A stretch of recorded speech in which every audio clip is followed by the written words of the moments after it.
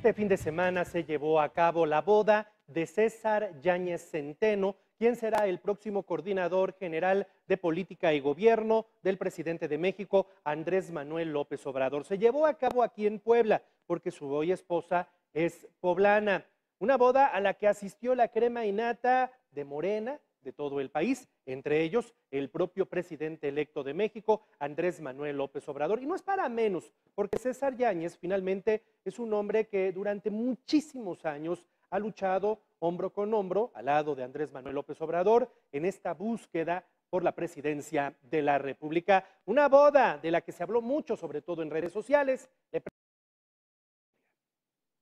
En medio de un fuerte dispositivo de seguridad y con la asistencia de la élite morenista, se celebró la boda de César Yáñez Centeno, próximo coordinador general de política y gobierno de Andrés Manuel López Obrador y Dulce María Silva Hernández. La iglesia de Santo Domingo fue el escenario de la boda religiosa del hombre de confianza del presidente electo. Afuera de la iglesia se colocaron vallas metálicas y un fuerte cinturón de seguridad, desde donde decenas de curiosos presenciaban la llegada de los autos lujosos que trasladaban a los invitados. Esperaban una oportunidad para saludar al invitado de honor. Claro que sí, por estoy aquí.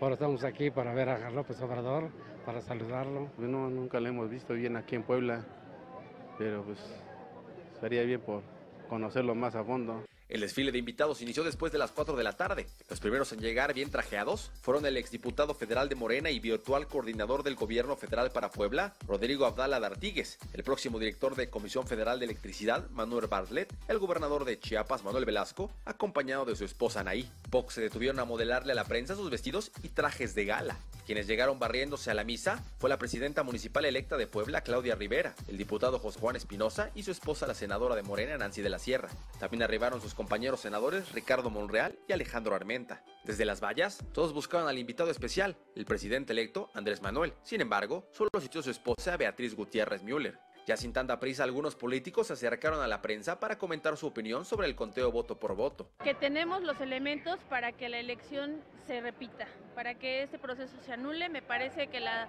que el tribunal dará a conocer los resultados y hay elementos hasta este momento de que no hubo certeza, de que la legitimidad del derecho del voto de los poblanos no se respetó. Convencido que el recuento lo único que permitió fue tener mayor del fraude que se cometió el primero de julio. Los invitados no perdieron más el tiempo y se dirigieron al centro de convenciones donde se realizó la boda civil y la recepción.